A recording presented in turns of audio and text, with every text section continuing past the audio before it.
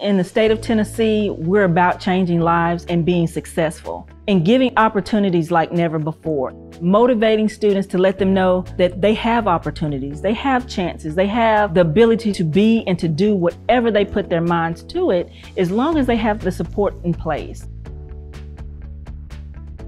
If we fund students over systems, whether that child's in a rural community that has trouble getting to school because of transportation, or trouble accessing job opportunities once they graduate, or all the challenges that inner city families face around poverty and around access, you can start to create better outcomes for both because we're funding that child's individual needs. I believe these dollars are going to be more equally and equitably distributed among the rurals, the places that generate large amounts of sales tax, the places that don't.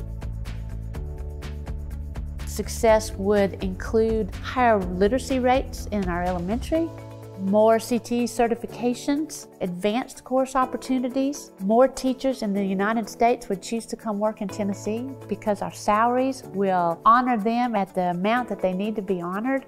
I feel like the student-based funding model is a lot more transparent and you can really see what the state is funding. Student-based funding will allow students to be able to have a more immersive and hands-on education to better prepare them for the workforce and their future employers. Rural communities will benefit from this, urban communities will benefit, fast-growing districts will benefit. I think those dollars will be so useful as we teach students again to think, as we teach students to explore, as we teach students to dream. I'm an eternal optimist when it comes to, to our state's future. I love Tennessee. I'm a lifelong Tennessean. I think our economy is strong. We continue to grow because we put good policies in place and because we don't become complacent. You always have to change for the future, and I think that the new student-based formula is the best way to move forward in education in Tennessee. We have now the opportunity to impact future generations. Now is the time to think about what makes us successful and what will keep us successful in the upcoming years and in the future.